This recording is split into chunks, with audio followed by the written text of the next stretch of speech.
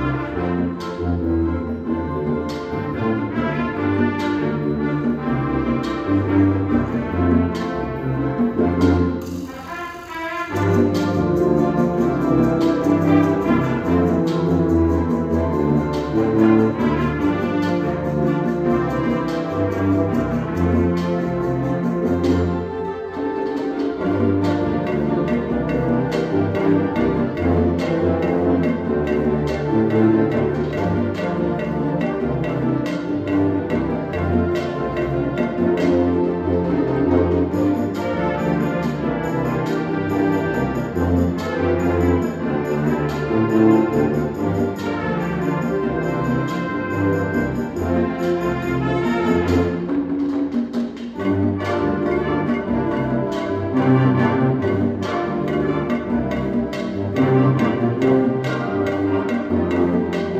you.